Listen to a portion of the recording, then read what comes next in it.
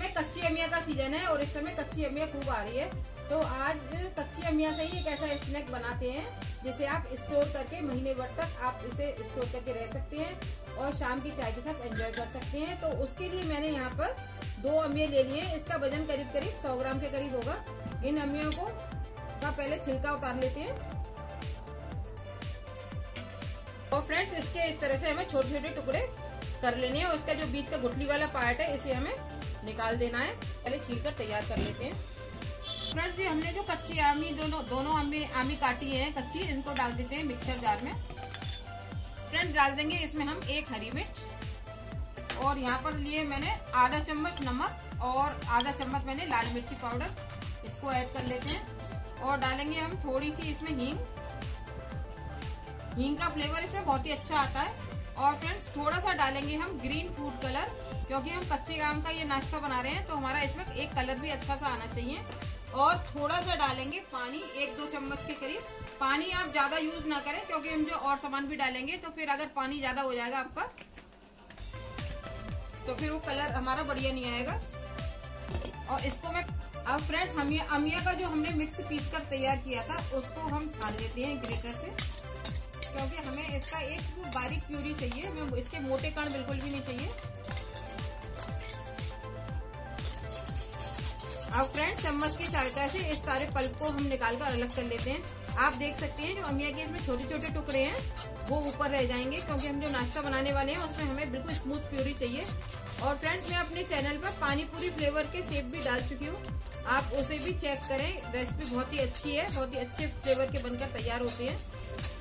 Friends इस तरह से मैंने छान कर तैयार कर लिया है और इसको हम निकाल कर अलग रख लेंगे।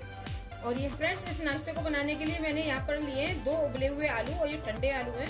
और ग्रेटर के जो हमारा जो मीडियम वाले साइज़ के होल होते हैं, इनसे हमें ग्रेट करना है इन आलुओं को। इनको ग्रेट कर लेते हैं।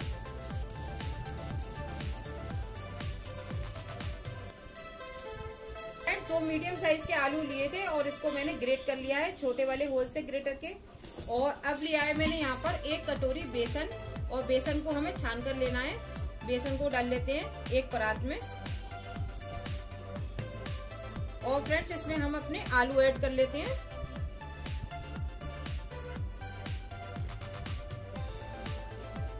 तो अब डालेंगे इसमें हम एक चम्मच ऑयल, जिससे कि जो हम ये रेसिपी बना रहे हैं, इससे हमारी खस्ता बने रेसिपी अच्छी तैयार हो। एक चम्मच मैंने ऑयल डाल दिया है। और अब धीरे धीरे जो हमने इसकी कच्चे आम की जो प्यूरी बनाई थी, इसको हमें धीरे धीरे डालना है और इसको अपने बेसन को हमें अच्छी तरह से मथते जाना है।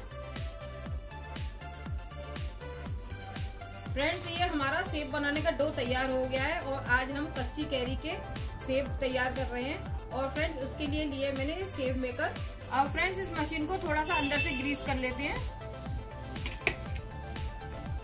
और फ्रेंड्स ये मैंने जाली टू नंबर वाली जाली ली है। एक बिल्कुल इससे बारीक होती है।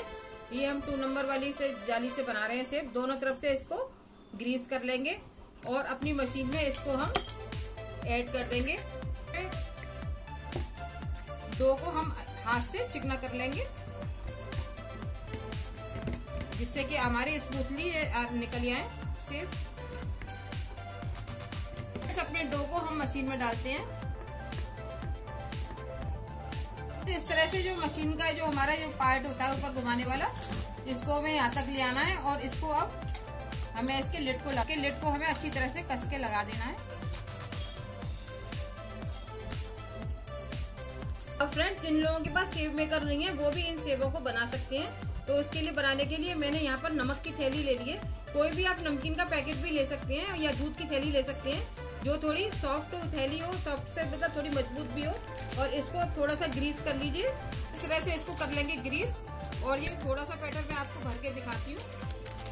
इस तरह से फ्रेंड्स मैंने थैली में भरकर तैयार कर लिया और इसमें अपनी ज़रूरत के हिसाब से हम होल करेंगे। छोटे बड़े आपको मोटे कैसे भी सेब बनाने हो उसके हिसाब से आप होल कर लीजिए और इससे मैं आपको फ्रेंड्स आज के तेल में सर, आज में की सेब में सरसों के तेल में पका रही बना रही हूँ। तो सरसों के तेल को पहले इसकी जो एक अजीब सा फ्लेवर होता है, उसको निकालना ज़रूरी होता है। तो थोड़े से नमक को पानी में घोलकर आप इसमें तेल में डाल दीजिए। उससे क्या होता है, इसका जो तीखापन होता है सरसों के तेल का, वो निकल जाता है। तो फ्रेंड्स, अब इससे इससे भी हम बनाना शुरू करते हैं।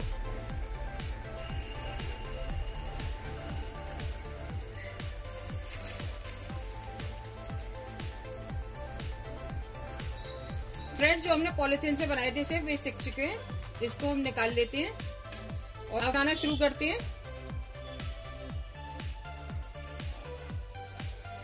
इस तरह से घुमाते हुए हमें अपने पूरे तेल में इनको, सेवों को छोड़ना है।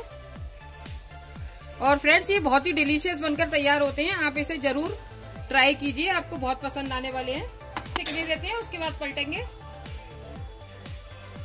अब फ्रेंड्स, ये सीख चुके हैं। इनको एक झारे में ले लेते हैं। और इसी तरह से हम अपने दूसरे सेब भी बनाकर तैयार कर लेंगे।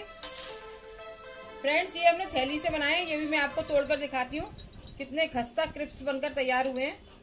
ये देखिए। और फ्रेंड्स, ये देखिए मैं इसको, इसका आपको टेक्सचर दिखाती हूँ सेब का। ये देखिए। इतने भुरभुरे सेब बनकर तैयार हुए हैं, क्योंकि हमने इसमें आलू मिलाया है। और थोड़ा सा इसमें मैंने मोयन भी ऐड कराया तो ये बहुत ही अगर आप महीने भर तक स्टोर करके रख सकते हैं टी टाइम स्नैक है, ये बहुत ही बढ़िया स्नैक है, आप इसे बनाकर देखिए और प्लीज़ कमेंट करके हमें ज़रूर बताया करिए कि आपको ये हमारी रेसिपी कैसे लग रही है और आप हमारे चैनल पर क्या और रेसिपी देखना चाहते हैं प्लीज़ कमेंट ज़रूर करें। Thank you for watching